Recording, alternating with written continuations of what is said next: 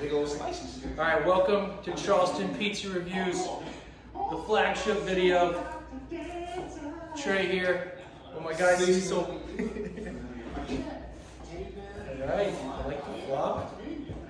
Not very greasy. All right, you gotta give it a score one to ten after you try it. right. One bite. Everyone knows the rules. Uh, not especially, but I love helping good people fulfill Mm. their dreams of having children. It's amazing what we can do. with them. Good. You wanna, wanna I have give it a 10. I like when I can taste the oil and the grease in it. A It 10. ain't dry.